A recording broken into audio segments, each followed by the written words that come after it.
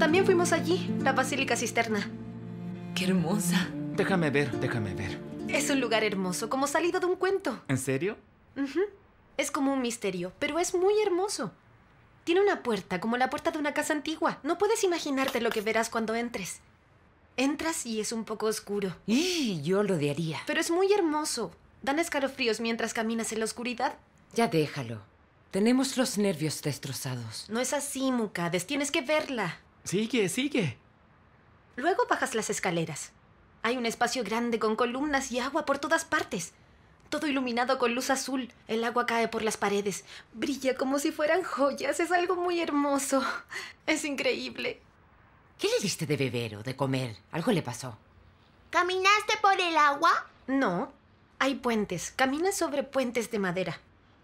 Es como deambular en la historia. Estaba tan impresionada. Eso es obvio. Mamá, yo quiero ir. Primero deja que tu tío Kerim le muestre todo a tu tía. Luego, si nos llega el turno, también iremos, ¿no? Por supuesto, vamos a ir todos. Quiero ir mañana. Mañana no podemos. Te prometo que cuando termine el colegio te llevaré. Ya aprendí cómo llegar. Mm, llegó el dinero. Buenas noticias. Menos mal. Mamá, ¿estás cansada? Sí, lo está. Hoy hicimos muchas cosas. No es eso. Estaba escuchando y pensando también. ¿Ocurrió algo? Es que no pudo vender sus cremas y está preocupada, ¿cierto? ¿Mm? Ah, No, querida. Bueno, eso también, pero... Estaba pensando qué podemos hacer a largo plazo. ¿Comenzar un negocio?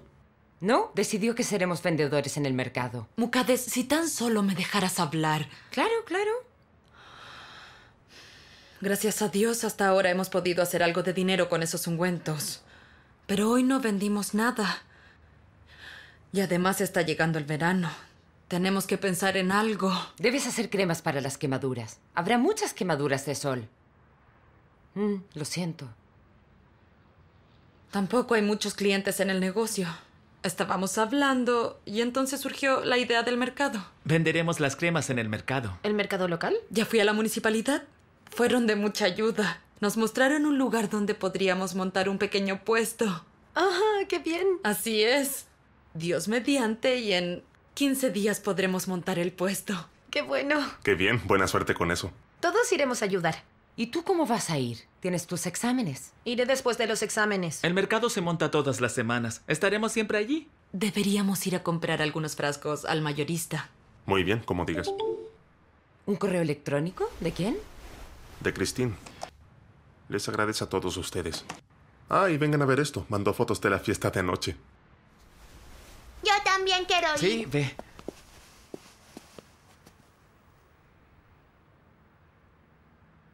¿También cantaste? Sí, canté. Son hermosas. Vaya, vaya. Fíjense en esas miradas.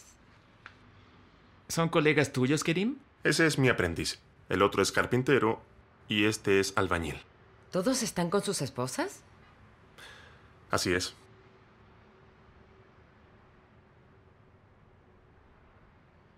No estás en esta. Allí, mira. ¿Dónde? Ah, ah. ¿Qué es eso? ¿Están hablando o hablando? ¿Esa es manera de hablar? Es como besar. Para nada, Mukades, por favor. Ah, mira. Bonitas fotos. Pero seguro que contaban un chiste o algo. No lo recuerdo. Nunca recuerdas nada en tu contra. ¿De qué estás hablando? Ebenaim, ¿quieres más té? Por favor, si no es problema. En realidad no necesitamos tus fotografías.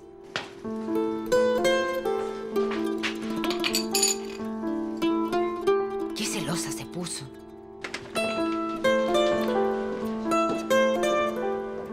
Y hoy que estaba de tan buen humor.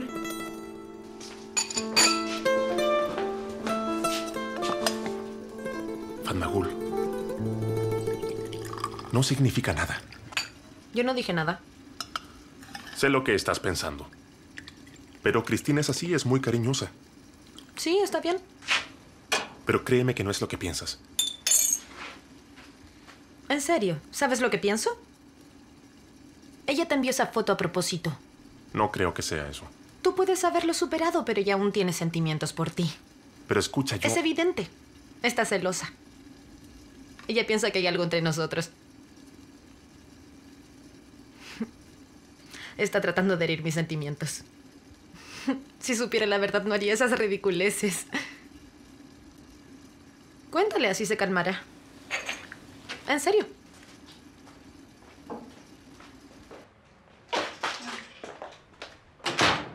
Eso no importa. ¿Qué cosa no importa? Igual se va mañana, ¿no? Ay, Mocades.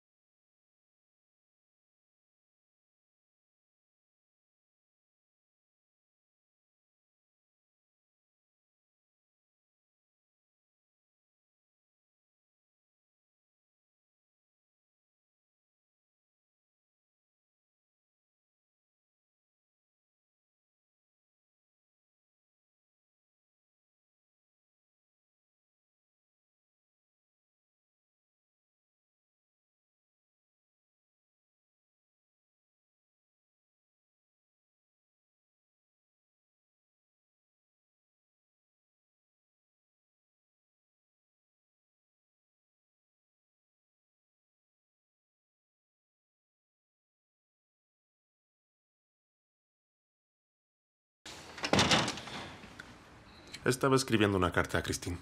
Una carta distante, como dijiste. Ya no trabajaré para ella. Es lo correcto. ¿Por qué no te sientas?